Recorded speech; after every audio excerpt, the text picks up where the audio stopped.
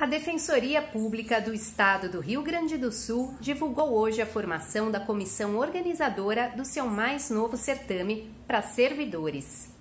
A comissão será formada por defensores públicos e funcionários do quadro, que ficarão responsáveis por dar andamento aos trâmites legais para que o certame saia do papel.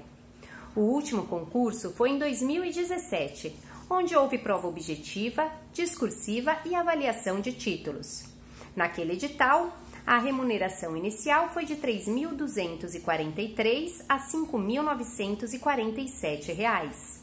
Neste novo certame, as vagas ainda não estão definidas, mas você já deve começar a estudar. Confira o nosso link abaixo com o artigo completo e o nosso material. Até mais!